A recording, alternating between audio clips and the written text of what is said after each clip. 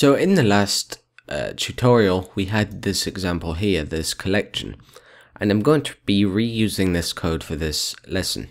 And I'm going to be demonstrating magic methods. Now, as I mentioned before, we already looked at the construct magic method.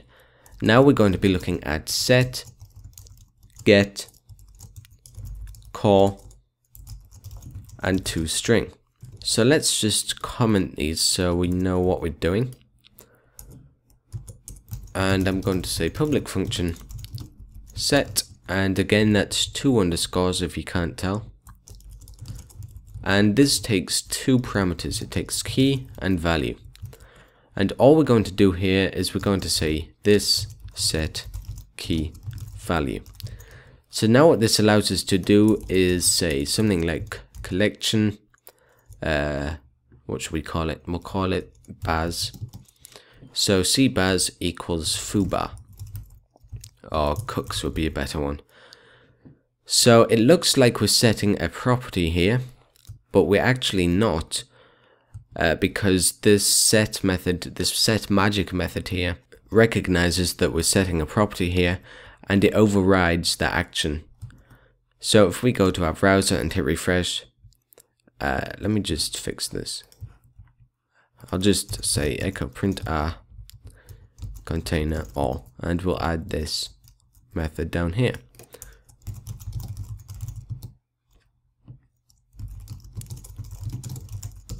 Just to make things a little clearer. And we'll also add a pre before that. There we go, much better. So now, uh, let me just fix this so we're not getting that one down there. So we're setting the second parameter of print_r to true, which tells PHP that we don't want to output this, we just want to return it. Uh, so there we go, that's gone. So now you'll see that this worked. We have our property here, or our item there. And now if we just add a quick get method, so get key, and we're going to return, uh, we'll have a ternary operator here. So return array key exists, key this item. And if the if the key does exist we'll return this item's key. Otherwise we'll return null. So now what we can do is we can just comment this out for now.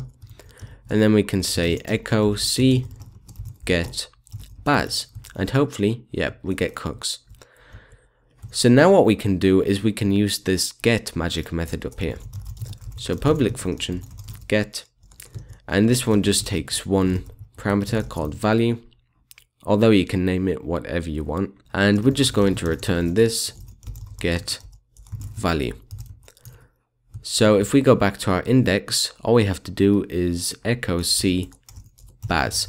And it looks again like we're accessing a property but PHP recognizes with this method that we're accessing a property and overrides it.